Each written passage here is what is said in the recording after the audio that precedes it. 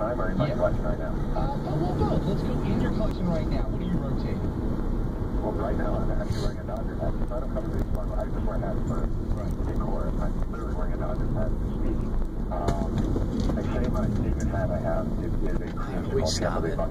Why are we stopping? Um, Which I think there's, um, yeah, you're on the, there's a picture of that on the blog, I think. Yeah, and then the other one I have, last year I did a story, Leisure Report about it.